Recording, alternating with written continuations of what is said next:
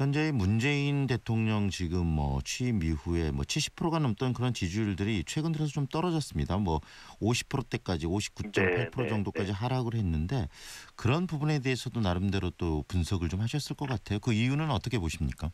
우선 저희가 좀 생각 뭐 미리 할 것이 두 가지 측면이 있는데요. 여전히 사실은 일반적인 것에 비하면 높은 것이 사실이고 네네.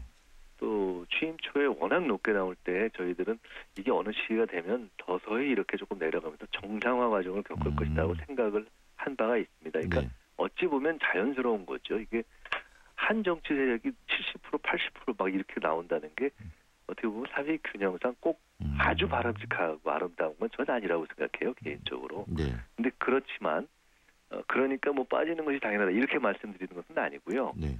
현재에 빠지는 측면에는 실제로 그 지지를 그만큼 하던 것에서 문제가 있어서 빠지는 것이 있는 것이기 때문에 네. 가령 뭐 가상화폐 또는 뭐 최저임금에 대한 구체적인 보완 네. 어, 또는 정부 부처의 일부에서 어떤 정책을 어, 내놨다 유보했다 뭐 하는 이런 등등에 대한 네. 아, 이거 조금 더 조율이 잘 돼야 되는 거 아니야? 라는 거기다가 이제 뭐 최근에는 평창 올림픽을 둘러싼 한편으로는 논란이 있는 것이고 또 한편으로는 네. 야권이나 보수 언론에서 과도하게 또 이렇게 두들겨 패서 그런 문제도 있는 건데요. 네. 네. 어쨌든 이러한 것들이 종합적으로 어, 얽혀서 네. 그 지지율이 어, 단기간에 눈에 띌 정도로 어떤 그 하락을 한 것은 사실이고요. 네. 다만 그것이 어, 계속 빠- 빠지는 추세냐 아니면 그렇게 했다가 다시 반등할 네. 수 있는 것이냐에 대해서는 아직 그 좀 더 지켜봐야 되는 상황이어서 저희로서는 주의 깊게 네. 보고 있고요. 그런 상황입니다. 원장님 그런 부분 있지 않습니까? 결국은 이 정치권은 국민의 지지를 바탕으로 이렇게 정치 활동을 하게 되는데 지지율이 빠졌으면 그 원인을 또 분석해서 새로운 어떤 정책에. 반영하면서 예, 그런 예. 과정들이 필요한 것이고 당연하게 이 정치 과정의 하나의 그 절차라는 그런 생각도 좀 드는데요. 이런 지지율 어, 문제. 당연한 거고요. 네. 현대 정치는 이렇게 발표되는 여론조사가 어찌 보면 매일매일 선거를 치르는 거나 마찬가지입니다. 네. 그러니까 매일매일 여론조사 지지율이 발표되고 그렇죠. 매일매일 성- 정치 세력 입장에서는 선거를 치르는 거 아니겠어요? 그런데 그런데 이제 그런 부분이 좀 있더라고요. 뭐냐면 일부에서는 지금 현재 네. 문재인 정부 들어서 이제 인사 문제에 있어서 너무나 이 보훈 인사와 측근 인사 중심으로 가고 있는 거 아니냐. 네. 그다음에 또 실제로 아까 말씀하셨던 그런 뭐 평창 올림픽의 문제 이런 거보다 보다 본질적으로 그리고 또 하나는 이 적폐 청산에 대해서 일부에서 좀 피로감을 느끼는 거 아니냐 이런 지적이 있는데 그 부분에 대해서는 좀 확실한 답을 좀 듣고 싶거든요. 뭐 보기에 따라서 그렇게 생각하는 분도 계실 수 있겠지만 네, 저는 개인적으로는 그렇게 보는 편은 아닙니다. 왜냐하면 적폐청산은 애초부터 그것에 대해서 조금 부정적으로 보는 분들은 어차피 있었을 겁니다. 그건 대선 때부터 마찬가지고요.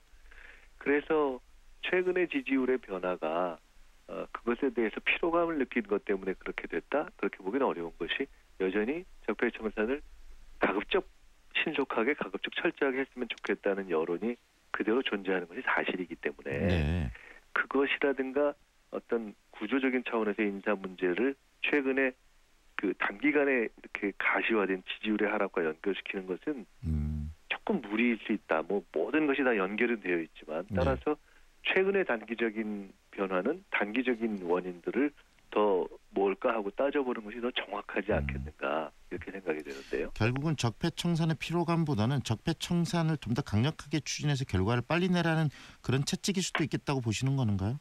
그것은 뭐 양쪽에서 해석이 다 네. 가능하겠죠. 그러니까 제가 말씀드린 것은 어 어쨌든 그것은 큰 기조에서 여전히 어떤 국민의 뜻을 여쭤보고 조사를 해보면 큰 틀에서의 이 흐름을 바꿔라 하는 것이 다수로 나타나지는 않습니다. 네. 그렇기 때문에 누구든 어떤 문제를 해결하는 것이 그게 길고 지리하게 가는 걸 바라는 사람은 없겠죠. 그러니까 네. 효율적이고 잘 해라 하는 것이 여전히 있을 것이라고 보고요. 네. 어, 다만 단기적인 최근의 어떤 지지율의 등락 변화는 아까 말씀드렸던 단기적인 어떤 요인들을 엄밀하게 따져보는 것이 더 문제를 해결하는데 맞지 않을까 싶습니다. 네. 그리고 또 궁금한 게 지금 이 국민의당 그 지금 야당인 국민의당이 지금 분당 사태를 맡고 있는데요. 여러 가지 뭐 정치적인 이해들이 내부적으로 다를 수 있지만 일부에서는 지금 뭐 그 호남 의원들 중심으로 이렇게 그 민평당 민주평화당을 만들어서 그 또 저기 새로운 어떤 정당을 만들고 그러는데 어떻습니까? 이런 그 민평당 쪽에서 뭐 천정배 의원도 나와서 또 그런 얘기를 하던데 이 문재인 정부가 제대로 적폐를 청산하고 새로운 시대로 가기 위해서 협조를 해줄 필요성이 있다는 이야기도 하시고 그러시던데 민평당이나 이런 정당과의 어떤 정책적 연대 또는 어떤 뭐 합당 뭐 이 함께하는 그런 모습들에 대한 고민도 좀 있으십니까? 어, 정책적인 협력이라는 것은 사실은 꼭 민주평화당뿐만 아니라 기존의 국민의당 또 바른당, 정당, 심지어 자유한국당에 이르기까지 어, 촛불 이후의 협치의 정신에 기초해서 할 수 있는 모든 개혁을 위한 협력은 하자 하는 것이 이미 전체적인 기조였기 때문에 네. 굳이 뭐 민평당 상황이 됐다고 해서 특별히 새로 제기될 문제는 아닌 것 같고요. 네. 다만 합당이라는 문제는 조금 다른 거죠. 왜냐하면 이게 이제 어쨌든 어려움을 겪고 계신 상태에서 새로 당을 만들겠다고 하고 이제 계신 분들에게 네. 합당의 문제를 더구나 이제 그래도 집권 일당에서 제기하는 것은 좀 적절치 음, 않고 네. 예의도 아닐 뿐만 아니라 당사자들의 어쨌든 말씀하시는 방향에도 맞지 않는 거 아닌가 싶어요. 왜냐하면 다당제가 이상이라고 말씀을 하시고 네, 네. 또 김대중 대통령이 햇볕 정책을 승계하겠다 이렇게 하시기 때문에 적절하게 필요한 선에서 협력할 것을 협력하면 되는 것이 아닌가 하는 생각이 들고요. 네. 또 실제로도 더불어민주당의 당원들 내부에는 어쨌든 민평당에 계신 분들의 지도부의 상당수가 그 전에 함께 당을 했던 시절에 여러 가지 당내의 문제를 가지고 내부에서 정리하지 않고 그것을 탈당해서 다른 음. 어떤 당을 만드는 방식으로 해결한 것에 대한 저것이 옳은가? 그리고 저것이 정당 민주주의에 굉장히 어떤 악영향을 미친 것이 아닌가라는 어떤 판단이 여전히 상당히 남아 있기 때문에 그 문제는 지금 그렇게 뭐 정치 상황이 조금 바뀌었다고 해서 공합적으로 뭐 이리 붙였다 저리 붙였다 하는 것은 저희가 지금 바른 정당과 저 국민의당의 합당 과정을 보면서 그다지 뭐 음. 훌륭하지 않다 이렇게 국민들이 생각하는 것처럼 저희가 그 반면에서 생각할 때 뭐, 또 다시 공학적으로 또 뭐 이렇게 뭐 네. 합당 뭐 이런 걸 얘기하는 것은 많은 환영과 박수를 받을 것 같지는 않습니다. 우리 원장님 개인적인 생각은 어떻습니까? 안정적인 국정 운영을 위해서 필요하다면 그리고 원하는 의원들이 국회의원들이 존재한다면 더불어민주당 내로 수용을 할 필요가 있다고 보시나요? 아니면 그런 부분도 좀 그 신중하게 고려해야 된다고 보시나요? 그러면 제가 말씀드렸던 저는 합당에 대한 의견은 말씀드렸고요. 네. 그다음에 지금 문 아마 의원 개인들의 합류 문제를 말씀하신 것 같은데 네.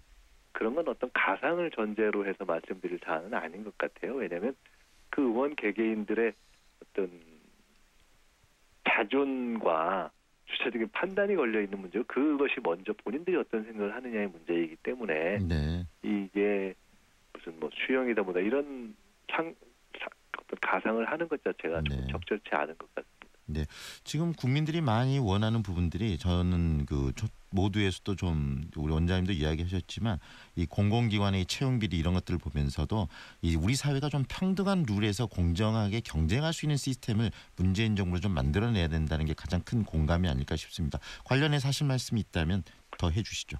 어 그러니까 이제 어떤 정치 권력의 어떤 독재적인 정치 권력 상태에서의 민주화로부터 이제 사회 전반에 있어서의 공정과 균형 음, 그리고 평형 감각을 찾자 하는 쪽으로 가고 있는 것은 우리 모두가 이제 인지하고 있는 거 아닙니까? 네. 아주 그에 대한 그 특히 정치권은 민감한 레이더를 세워야 되는 거고요.